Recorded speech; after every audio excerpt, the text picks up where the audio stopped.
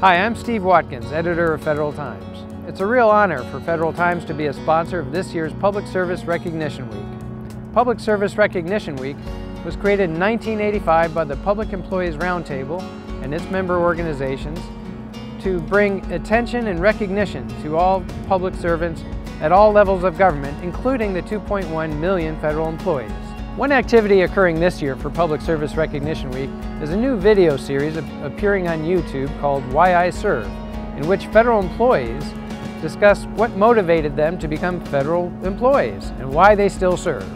You can find the videos at youtube.com forward slash user, U-S-E-R, forward slash PE Roundtable. We've already got some great videos on there and I'm looking forward to seeing many more.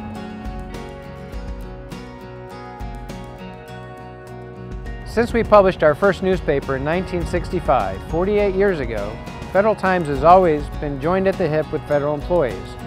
We have always enjoyed and relied on a special kinship with federal employees. In my tenure of 14 years at Federal Times, I've met with and talked to thousands of federal employees.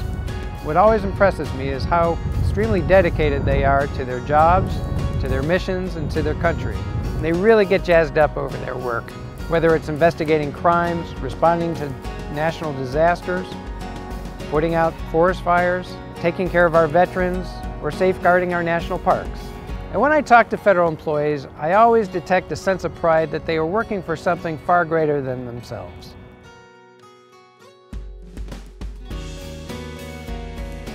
For as long as I've been editor, and many years before that, Federal Times has always viewed Public Service Recognition Week as a special occasion. Every year we get many letters sent in from feds, cabinet level secretaries all the way down to GS5s telling us how proud they are to be federal employees and of the work they do and of all the talented people they work with. And I find that very gratifying because I know federal work is often very demanding and challenging. And more often than not, it goes unrecognized. Oftentimes the work that feds do can be hard to explain to people. It can be specialized or esoteric. Often the, the work may not seem significant on its face, but when it's combined with the work of dozens or thousands of other federal employees, it can emerge as a very significant accomplishment, such as a new Navy ship, or a way to combat a new disease, or a way to reduce waste, fraud, and abuse. So participating in PSRW is a way for Federal Times to help spread the news about the work that our unheralded federal employees are doing. Unfortunately, too many Americans don't know what they're doing, and they should, because after all, they're paying for that work.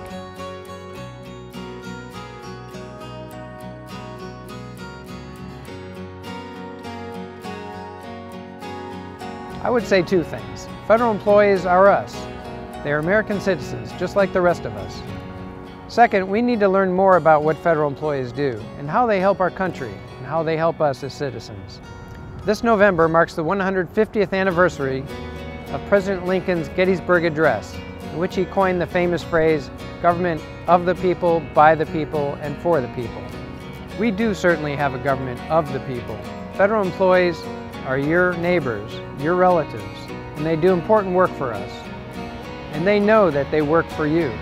But until our citizens and lawmakers know and appreciate better all the things that federal employees do, it will be increasingly hard to maintain a federal workforce comprised of this country's best talent. So let's recognize all the public servants for the great work that they do, and I'd like to take this opportunity to thank all the federal employees, whether you're wearing military or civilian clothes, for all the great years of service that you've given us. Thank you.